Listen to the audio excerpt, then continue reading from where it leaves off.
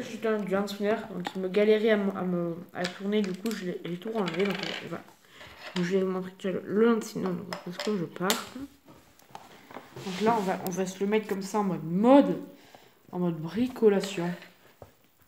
Donc maintenant on va mettre, c'est pour mettre le petit embout qui sert pour faire tourner. Donc c'est une espèce de Excusez-moi, je ne dois, pas tenir la caméra parce que sinon je vais galérer pour tout remonter.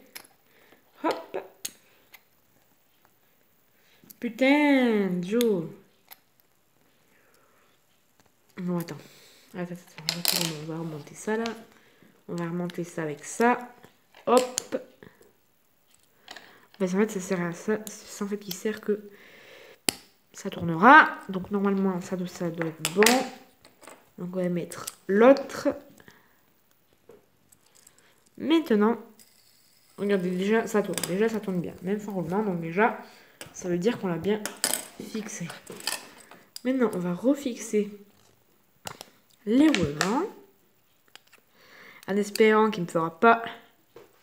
Oh putain, il va, il va me refaire le truc tout à l'heure. Donc petite méthode aussi pour fixer les hand spinners. Moi, moi j'utilise cet outil là. Ça pas. Bon.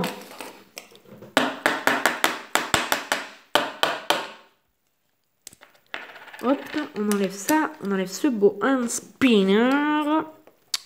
Et bordel, ça doit être à cette place-là, je sais pas. Est-ce que par contre, dites-moi aussi les gars, si euh, ceux qui se connaissent, si le même si le hand spinner a une place spécifique pour chaque roulement?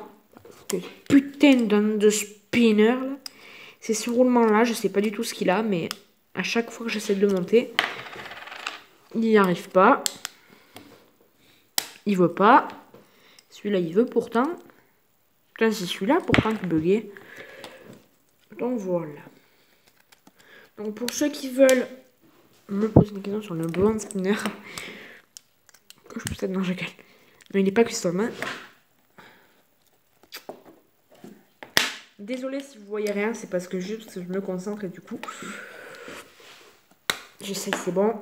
Normalement, ça doit bon. On va le tester et après on se dira au revoir.